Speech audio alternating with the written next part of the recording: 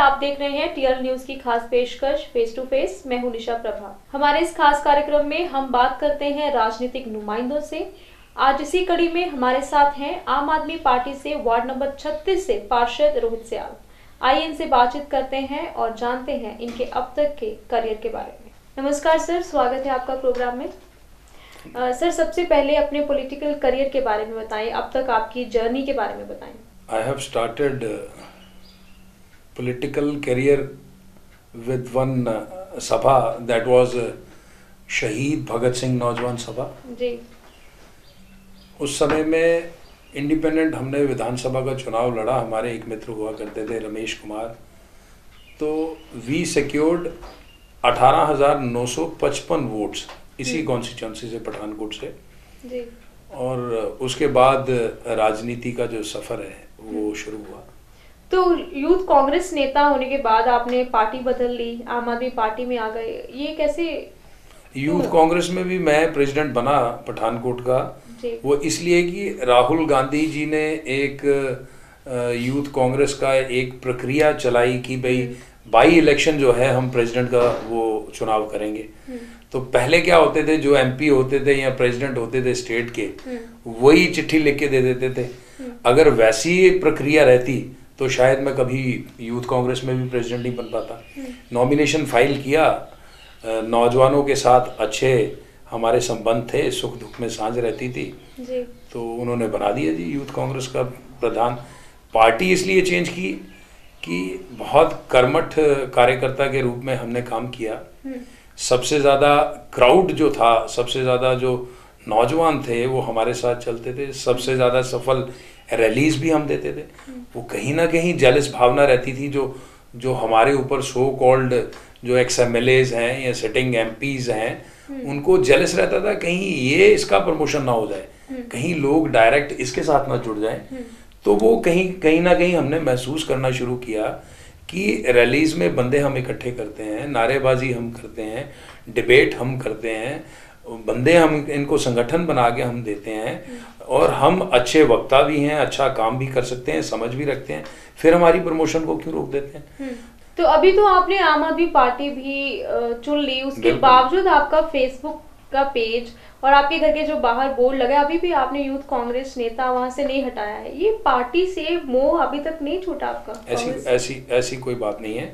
मैं आपको ये बताना चाहता हूँ कि जो पेज बनाया जाता है जो आप कह रहे हो कि एक जो पेज है वो आपका नहीं हटा है ये ऑल इंडिया जो यूथ कांग्रेस वाले जो दिल्ली में बैठे हैं वो बनाते हैं पेज हम्म, और वही डिलीट कर सकते हैं। हम्म, मैं उसको डिलीट नहीं कर सकता।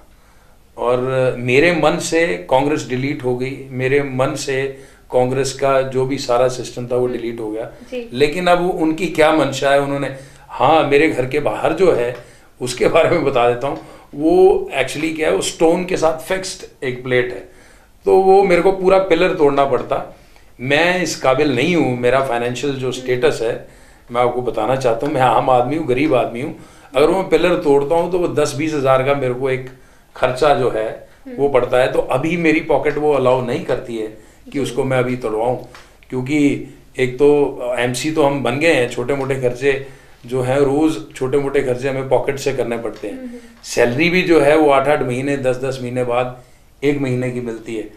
तो बस सिर्फ़ यही वजह है कि वो स्टोन नहीं हट पाया इसके अलावा कोई वजह नहीं नहीं सैलरी का मुद्दा तो वो नकार रहे हैं कि सैलरी जैसा कोई वो तो सारा नहीं। देखो वो तो सारे मुद्दे नकारेंगे वो तो ये भी बोल रहे हैं पंजाब में नशा नहीं है। वो तो ये भी बोल रहे हैं पंजाब में करप्शन नहीं है। वो तो ये भी बोल रहे हैं कि हमने झूठे पर्चे नहीं करा है वो तो यही बोलेंगे। लेकिन पंजाब का बच्चा बच्चा बोल रहा है पंजाब में क्या हो रहा है? अगर टिकट की बात करें तो आपको क्या लगता है पठानकोट में इस बार टिकट किसको मिलेगी? मैं आम आदमी पार्टी की बात कर रही हूँ। मैं आम आदमी पार्टी की बात कर रहा हूँ। मैं नहीं जानता अभी किसको मिलेगी टिकट लेकिन मैं ये ज़रूर मेरा विश्वास है और जितनी भी टिकट्स की अनाउंसमेंट हुई हैं मतलब इससे मतलब मेरे मन में मेरी पार्टी के प्रति जो है श्रद्धा वो चार गुना हो गई है। क्योंकि अभी डॉक्टर विनोद हैं हमारे भुआ कॉन्स्टिट्यूंसी से जो अनाउंस हुए हैं और बिल्कुल आम परिवार से संबंधित हैं।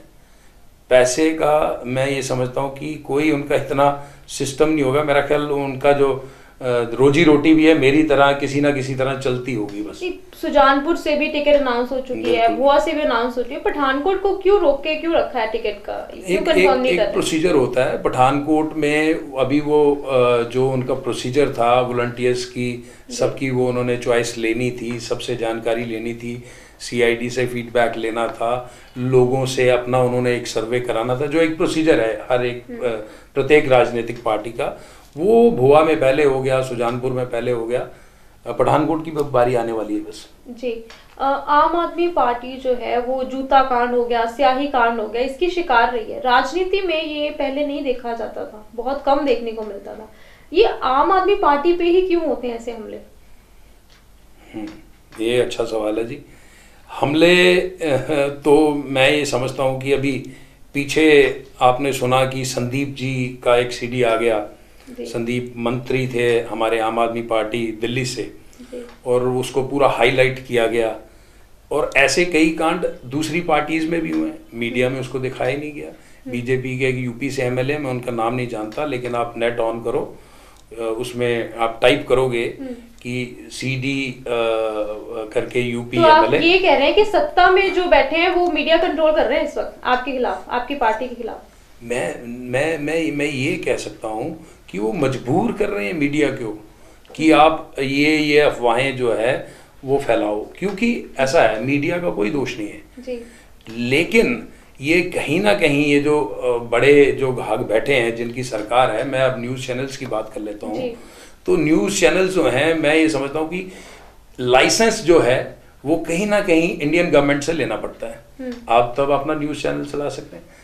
जब इंडियन गवर्नमेंट के ऊपर प्रधानमंत्री नरेंद्र मोदी का पूरा जो है प्रभाव है। तो मैं ये समझता हूँ कि वो मजबूर कर देते हैं मीडिया को कहीं ना कहीं वो सच्चाई को दबाते हैं। हमारे आप जैसे जो नौजवान पत्रकार हैं जो देश का भला चाहते हैं उनको भी कहीं ना कहीं मजबूर किया जाता है कि सच को छुपाया जाए। आप आम आदमी पार्टी के ही एक लीडर हैं सुच्चा सिंह छोटे उन्होंने भी कहा कि सच्चाई को दबाया गया इसलिए उन्होंने पार्टी छोड़ी। तो वो जब पार्टी से गए हैं उनका चुनाव के नतीजों पर कोई असर पड़ेगा? बिल्कुल असर नहीं पड़ेगा। मैं उनके जाने के बाद मोगा में रैली अटेंड करी है बागा पुराना में। उससे पहले जब सुच्चा सिंह छोटेपुर साहब थे तब उससे पहले मैंने मुक्सर साहब में रैली अटेंड करी थी। हम्म। और जो मुक्सर साहब की रैली थी और जो मोगा की रैली थी मोगा की रैली उससे कहीं ज़्यादा बड़ी थी। हम्म। और लोगों का और ज़्यादा विश्वास कर इससे पहले सुच्चा सिंह छोटेपुर जी का प्रभाव आप ये समझ लो कि ये उनका लोकसभा क्षेत्र है सेंस की उन्होंने लोकसभा चुनाव लड़ा है। हम्म। तो ये लोकसभा क्षेत्र में आज तक आम आदमी पार्टी की या किसी भी राजनीतिक पार्टी की रैली नहीं हुई। जितनी बड़ी रैली अभी दो दिन पहले 12 अक्टूबर को हुई। आप सीआईडी से फीडबैक ले सकते हैं आप पठानकोट की जनता से फीडबैक ले सकते हैं। बातों का सिलसिला यूँ ही चलता रहेगा। मिलते हैं एक छोटे से कमर्शियल ब्रेक के बाद। Modern Sandeepni school is boarding cum day boarding school with 18 years of experience. School has a wonderful sports infrastructure. School is fully equipped with ultra modern labs, hostel, transport, and mess facilities. For admissions, please contact Modern Sandeepni School, Pathankot.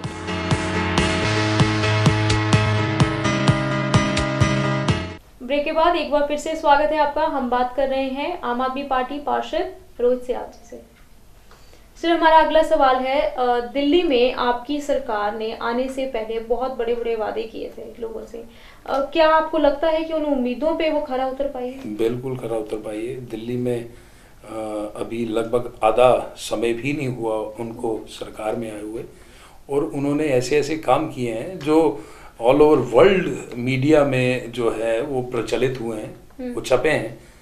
जैसे आप मोहल्ला clinic ले लीजिए ऐसा कभी नहीं हुआ। जैसे ई रिक्शा शुरू किए गए हम्म। जैसे ऑड इवन ट्रैफ़िक कंट्रोल और पोल्यूशन कंट्रोल के लिए किसी ने आज तक सत्तर सालों में सोचा ही नहीं हम्म। कि ये इस तरह से भी पोल्यूशन कंट्रोल हो सकता है। तो कुछ फ्री वाईफाई और बिजली कनेक्ट फ्री पानी वाले राजनीतिक जुमले भी उछाले गए थे ना? नहीं जुमले नहीं है वो हकीकत है और वो होके रहेगा। कुछ दिनों में। मैं ये तो जितना मेरे को फीडबैक हम्म। है पार्टी से जो भी वादे पेंडिंग है उस पर काम चल रहा है। और मैंने आपको बोला कि अभी आधा समय भी नहीं हुआ और लगभग 50 प्रतिशत के करीब जो वायदे किए गए थे दिल्ली की प्रबुद्ध जनता से वो लगभग पूरे हो चुके हैं और पचास प्रतिशत जो रह गए हैं उस पर काम चल रहा है। बहुत जल्द पूरे होंगे। अब पठानकोट की अगर बात करें तो मौजूदा जो विधायक हैं और मेयर हैं उनके कार्यकाल से आप कितना संतुष्ट हैं? मैं बिल्कुल संतुष्ट नहीं हूँ।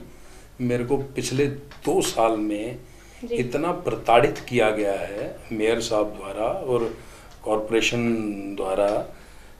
कोई काम नहीं होता है। काम की तो बात बहुत दूर की है। एक सफ़ाई कर्मचारी मेरे कहने पे झाड़ू नहीं लगाता है।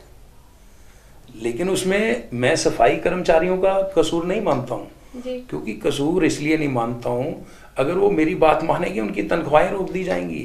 उनके खिलाफ झूठी कंप्लेंट करके उनकी नौकरी जो है वो खतरे में आ जाएगी। वो तो बेचारे गरीब जो ऊपर से ऑफिशियल उनको बोलेंगे वो करेंगे। हम्म। लेकिन ये बहुत प्रताड़ित करते हैं पूरी डिक्टेटरशिप करते हैं।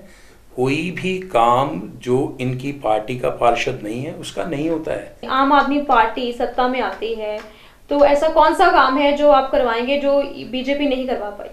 सबसे पहले तो नशा खत्म करेंगे। बिल्कुल खत्म करेंगे नशा। जी। आप कभी विधायक बनना चाहेंगे? अगर आपको मौका मिलता है तो। बिल्कुल बनना चाहूँगा मैं। जी क्या काम आप करवाना चाहेंगे मैं ये, वो नहीं करवा पाए? मैं बतौर एमसी मैंने कोशिश करी है जी। बन के कि भाई मैं ऐसा काम करूँ जो लोग याद करें। हमें सहयोग नहीं मिल पाता कॉरपोरेशन का सरकार का सहयोग नहीं मिल पाता। मैं अपनी पॉकेट से मैं गरीब आदमी हूँ। मैं मेरे मेरे हिसाब से मैं बीस से पच्चीस हज़ार रुपये महीना कमाने वाला आदमी हूँ। मेरी दो बेटियाँ हैं छोटा सा परिवार है और पच्चीस हज़ार रुपये में एक आम आदमी का गुजारा अच्छे स्कूल में अगर आप पढ़ाएँगे सेंट जोसेफ कॉन्वेंट स्कूल में पढ़ती हैं तो बड़ी मुश्किल से मैं उसमें से आप आप देखिएगा उसमें से मैं दस हज़ार रुपये में मैंने दो रेडियाँ लगा रखी हैं अपनी पॉकेट से जितना भी सफ़ाई का जिम्मा है वो झाड़ू भी लगाते हैं वो नालियाँ भी निकालते हैं और घर घर से कूड़ा कलेक्ट करके जहाँ पे डंपर है उसमें अंदर डाल के वो उसको मोहल्ले को साफ़ सुथरा रखने की कोशिश करते हैं। लेकिन जो बड़ी डेवलपमेंट्स के काम है सपोज़ ट्यूबवेल चाहिए मैंने वादा किया था मैं ट्यूबवेल लेके आऊँगा। लेकिन कॉरपोरेशन सहयोग नहीं करती। जी। अगर मैं एमएलए बन जाता हूँ तो मैं ये समझता हूँ मैं इतना कमज़ोर नहीं रहूँगा। और मेरे मन के भाव जो हैं वो लोग जानते हैं। सिर्फ़ जाते जाते हमारे वोटर्स के लिए आपका क्या संदेश है? मैं वोटर्स को बस यही प्रार्थना करना चाहता हूँ। सत्तर साल आपने दोनों पार्टियों को दिए हैं। अकाली दल और बीजेपी और कांग्रेस को इस बार मौका आम आदमी पार्टी को दीजिए। जय हिंद, जय भारत। और मैं साथ में ये भी कहना चाहूँगा, प्रशंसा करता हूँ टीआरएल मीडिया की, जो ये सारे मुद्दे जो है वो पंजाब की भलाई के लिए उठा रहे हैं। आप सब लोग बधाई के पात्र। सर आपने हमें अपना कीमती समय दिया इसके लिए आपका बहुत बहुत शुक्रिया। आपका भी शुक्रिया। ये थे हमारे साथ रोहित सियाल वार्ड नंबर 36 से आम आदमी पार्टी पार्षद। एक और नई शख्सियत के साथ फिर हाजिर होंगे तब तक के लिए नमस्कार।